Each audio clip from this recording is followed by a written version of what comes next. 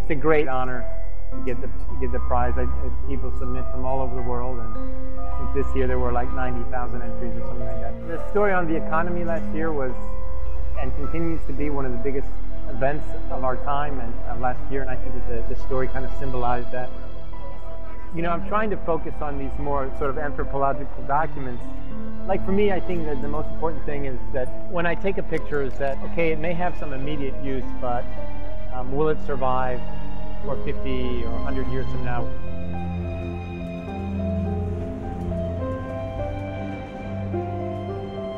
This is Wall Street. This is the front of the New York Stock Exchange in Manhattan. We just came down from 175th Street. This is the center of the universe for money, basically.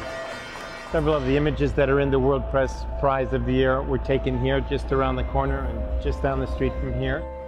What Sergeant Kole was doing in that home uh, and foreclosing on that home had a direct relationship on what was happening here. Those mortgages were sold to Wall Street and it all basically collapsed once the owners started foreclosing on their homes, which they couldn't afford. Uh, that, that came back and hit Wall Street, which then again hit our economy. I used the Leica with a 28. It's light, it's small, it doesn't you know, interfere with the scene that you're photographing or, or how, how you're seeing something. I, I look at it as an extension of my eye. It's part of my body, it's part of my, my being. Maybe the next project is in China, you know, maybe the next project is uh, in uh, India, I don't know. No, I think that there is, you know, after I finish here in America, it may be interesting to look at another area of the world.